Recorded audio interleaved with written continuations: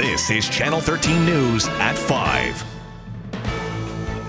A tense scene firefighters rescuing members of a local church after it caught fire this afternoon.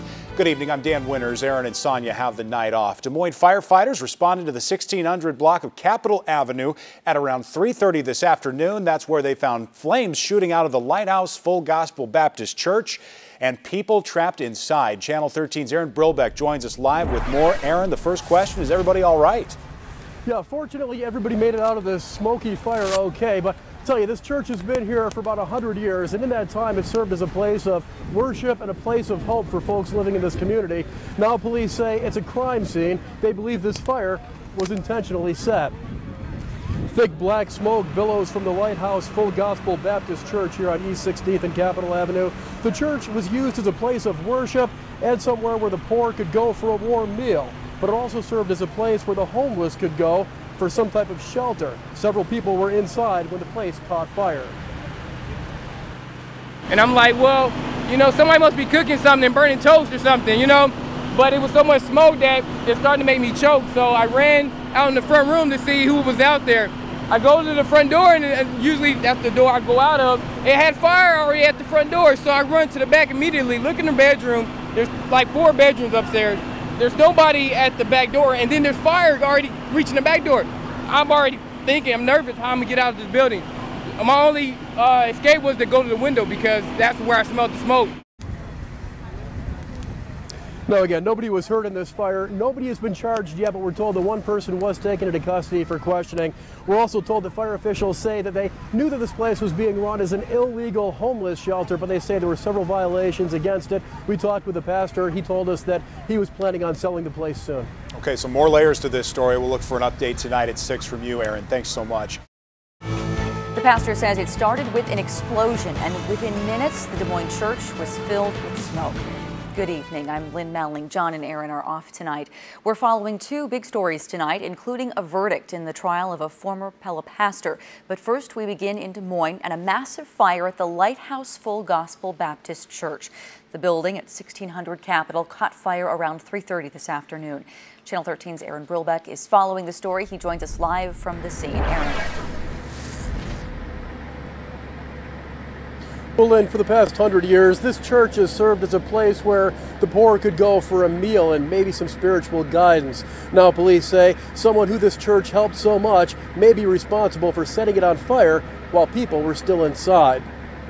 Flames and thick smoke billow out of the windows and roof of the Lighthouse Full Gospel Baptist Church. The church is used as a place of worship and a place where the hungry could go for a meal but at least for the past year, it was also used illegally as a shelter for the homeless. Some of those homeless people were still inside when the church caught fire this afternoon. And then there's fire already reaching the back door. I'm already thinking, I'm nervous how I'm gonna get out of this building. My only uh, escape was to go to the window because that's where I smelled the smoke. And I'm thinking I gotta climb down before this place blows up or go to the roof or something. Either way, I was going out the window. It's my only way. Unfortunately, no one was injured, but this church building does appear to be a total loss. We're told by police that one person is in custody. He's being questioned at this point. No charges have been filed, though, at this point. We also talked with the pastor of the church. He says he was planning on retiring within the next few days and was hoping to sell the church. You'll hear his story coming up at 10 o'clock. Okay, thanks very much, Aaron. For more than a hundred years, this church has offered food and comfort to the needy.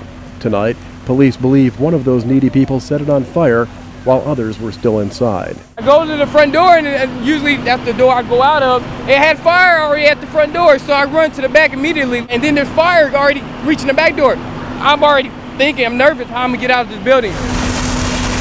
D'Angelo Dudley made it to a window where firefighters rescued him. It didn't take long for this fire to spread through the church. Police are questioning this guy, who they have identified by the nickname chief. The, day, the thing was going under, they, uh, they couldn't pay the rent, the electricity's off, and here's what happened. Watching the church burn is hard for Pastor David Reesby. It's even harder knowing that a man that he considered a friend, a man he just ministered to a few hours earlier, may be responsible. Come, I didn't pick it up. Come, I didn't pick it up. You know, sometimes you get little gut feelings about stuff. I didn't get anything. Pastor Reesby was planning to sell the church and retire. He was closing the deal on Saturday. He says it's hard to be Christ like seeing this. I see hatred right now, man. I'm just going to be honest with you. All I do is help people. That's all I do is help people. And somebody does this to me. It's hard to, it's hard to find Jesus right now.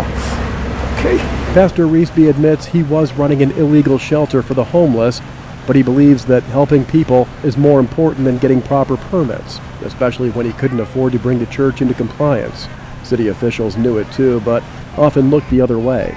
Nothing dangerous was going on inside, and we, we respected the intent of what he was trying to do, and so the focus was getting him complied with while also trying to help those in, in the community.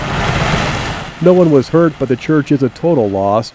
Pastor Reesby feels betrayed, and he doesn't know where to turn next now that his life's work is up in smoke. I really don't know